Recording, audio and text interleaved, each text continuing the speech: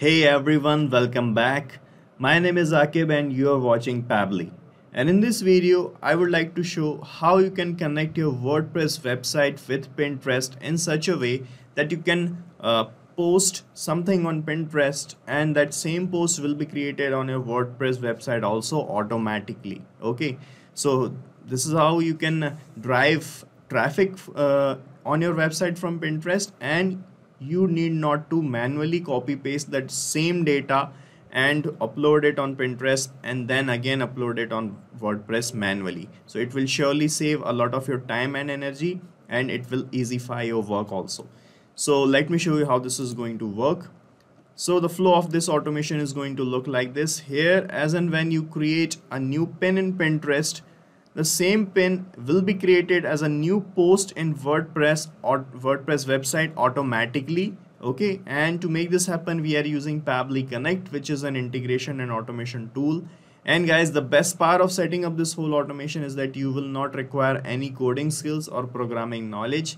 So anyone can set up this automation very easily. So now let's set up this automation together so guys, the first step to set up this automation is to log in into your Pabbly Connect account and reach the dashboard of Pabbly Connect just like me here.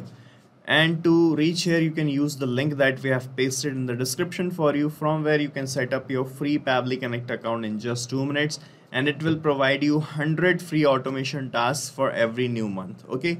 So after setting up your account, you can log in and reach the dashboard of Pabbly Connect and here you have to start creating this automation by creating a workflow. So to create a workflow just click here on this create workflow button. And here you can give any suitable name to your workflow. So let me fill the name here. So I have given the name to this workflow as create WordPress post from Pinterest pins automatically. Okay. Now I can click here on this create button and you can see your workflow getting created here like this okay? And on this page guys you will find these two these two things the trigger and the action. So this automation is going to work on these two things. So the trigger is the happening of that event which is going to trigger this workflow and the action would be the response towards the trigger okay? As in our use case the trigger would be a new post a new pin created in pinterest and the action towards that trigger would be to create the same pin as a post in wordpress website. Okay so first of all you have to click here on this trigger section. And from this choose app field you have to choose your trigger application which is Pinterest in our case. So select Pinterest from here. And in the trigger event uh, the event would be a new pin okay then click on connect. And from this window select add new connection then click on connect with Pinterest. Okay and it will bring you to the login window if you are not logged in. As I have already logged in in my Pinterest account so it is just asking me access. So just click on give access and you'll be connected with your Pinterest account in a few moments like this. So we are now connected and here it is asking in which board you are creating the pins. So guys in Pinterest you have boards to create pins. So let me show you my boards. So these are the three boards I have Pabbly, Royal Sun and Sigma and I am using this Pabbly board to create a pin so, so I'm selecting Pabbly from this list okay?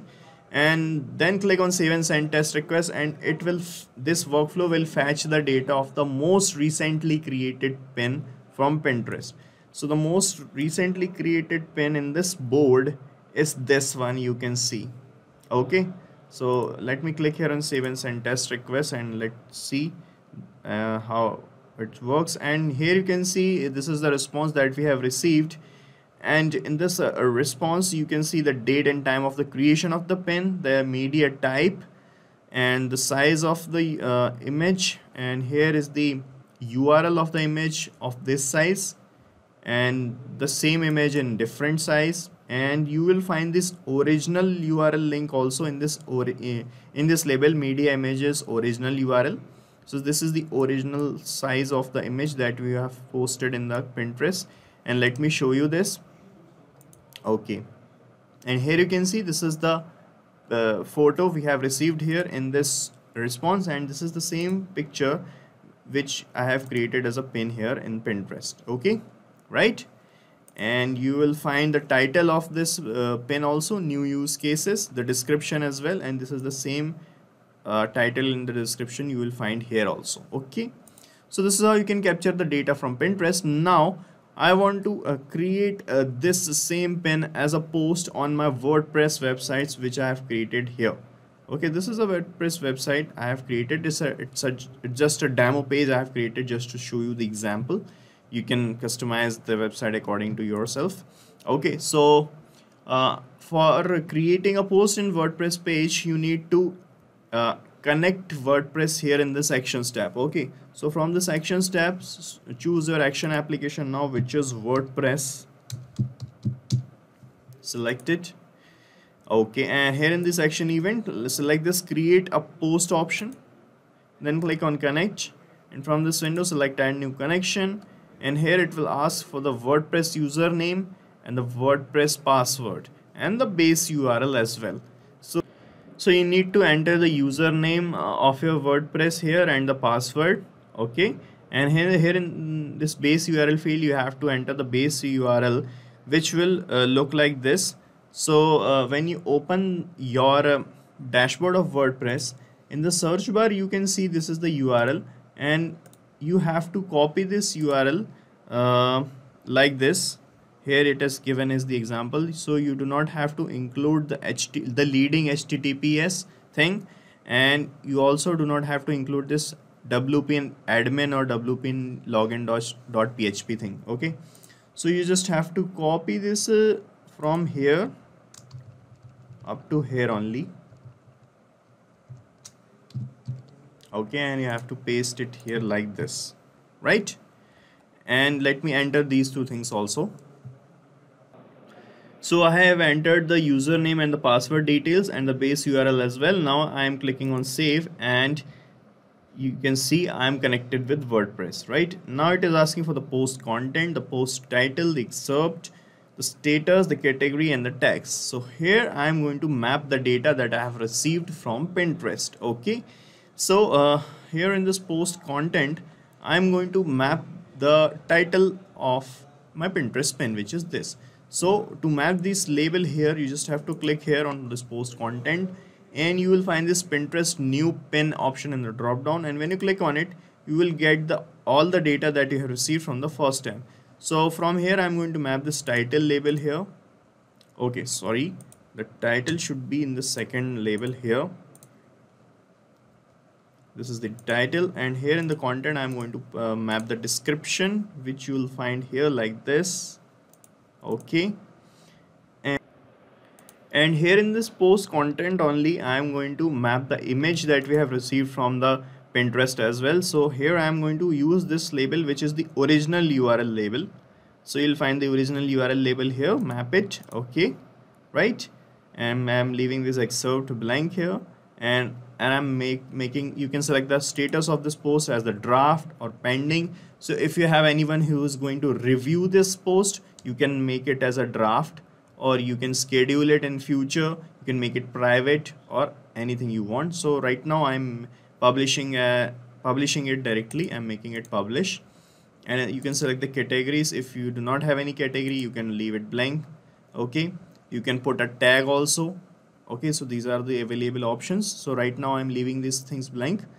Uh, now you can check your connection with save and, uh, with WordPress by clicking on save and send test request and a new post will be created here on your page okay on your website.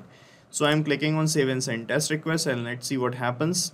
And here you can see uh, let me sh show you in WordPress if we got a new post. So I'm refreshing my website's page here and here you can see a new post is created with this title new use cases. Let me open this post for you.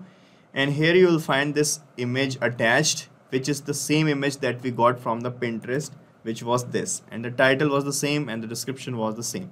So this is how you can connect them both and uh, automate the process of posting data in both of these things. Okay? Right? So we are done setting up this automation let me give you a quick recap what I've done here so first of all in the trigger I connected Pinterest and captured the data of our most recently created pin and after that in this actions tab I connected WordPress and map the data that you have received from the first step. So when you map the data like this, what will happen in real time whenever you post anything on Pinterest, the same post will be published as a post in WordPress automatically. Okay, so you have to set up this automation only once.